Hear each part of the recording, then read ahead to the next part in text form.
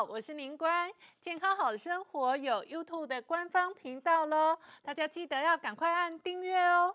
接下来我们泽松师傅也要分享一个健康好料理，师傅今天要烧的是菠菜玉米。好，菠菜哦，这个。有的时候也是会被小孩打枪的，但是 玉米一定是哦小朋友接受度算是很高的蔬菜了。师傅现在爆的是蒜蓉，然后我们把这个虾仁把它剥壳，这个是自己剥的虾仁。嗯。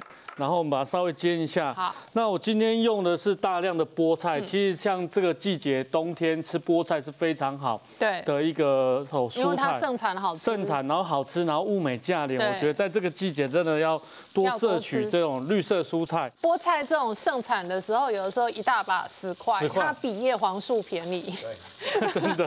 就是它就是天然的叶黄素跟维生素 A 啊，而且它的叶黄素含量在蔬菜里面是数一数二高。对。所以。盛产的时候，你就把它当做叶黄素来吃。哎，你们家女儿这个菜会打枪吗？不会，其实她蛮喜欢的。女儿三岁小孩可接受的食物。好，所以我刚才加了一些香菇，虾子稍微把它翻面，香菇把它爆香一下，然后我们这时候甜椒就可以下来了。好。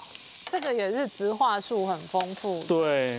然后小孩子你看到哎五颜六色很缤纷这样子，他其实他就不会呃 focus 在这个只有绿色蔬菜或红萝卜啊、甜椒这单一呃食材上面的一个焦点。你如果烧绿色还好，有些婆婆妈妈叶菜类烧到变黑呀，哦对，哦那个都会被我会被打枪，绝对被打枪。就是吃饭吃到要吵架要翻脸。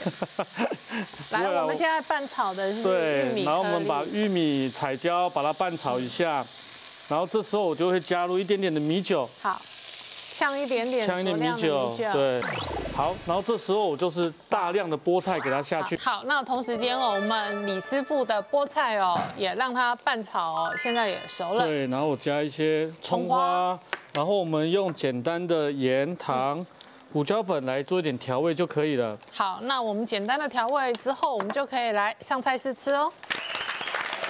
不止美味，而且还非常好看。那小朋友不喜欢吃菠菜，是因为菠菜有一个苦味。但是呃，我讲李师傅做的这道料理，不仅帮他虾壳剥好，把你菠菜已经把它炒的没有任何的苦味。那加上它的玉米那个颜色这样红黄绿，哇，那它非常好看。我觉得小朋友会喜欢这道料理，然后大家可以复制。